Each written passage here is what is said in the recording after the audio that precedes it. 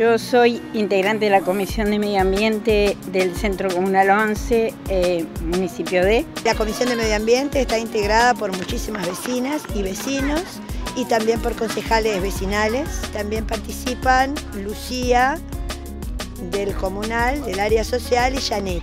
Nos juntamos para pensar en tareas que mejoren la calidad de vida de los vecinos, que mejoren el espacio este, donde vivimos, que mejoren en cuanto a la higiene, a la salud, que va junta, ¿no?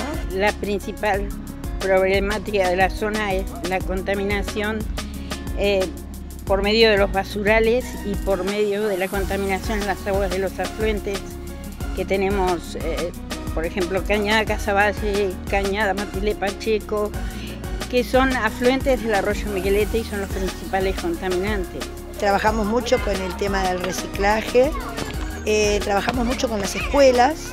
El año pasado hicimos este, un trabajo muy lindo con las escuelas de la zona, de toda la zona de Casaballe, de acá, de Cerrito, que los niños juntaran botellas de plástico y bueno, recibieron unos obsequios por unas cuantas toneladas que juntaron y nosotros les proveímos de esas, de esas bolsas con plásticos a las plantas que tenemos de reciclaje de la zona.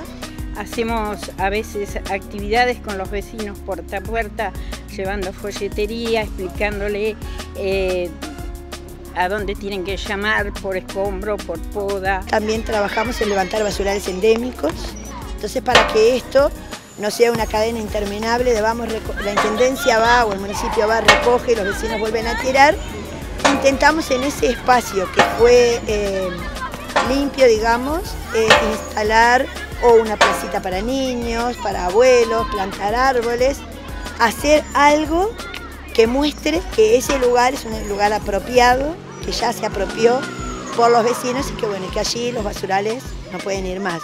Y esto en realidad ha funcionado muchísimo en este municipio. Dentro de todas las actividades que se pueden realizar dentro del municipio, nosotros estamos apoyando y dentro de lo posible organizamos alguna.